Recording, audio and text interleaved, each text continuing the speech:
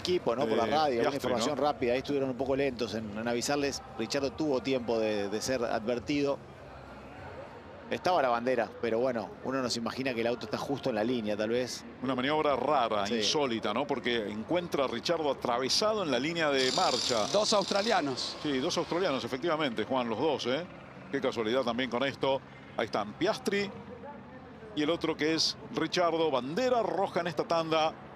Por ahora Verstappen, Pérez, Hamilton, Russell y Piastri. Los cinco primeros lugares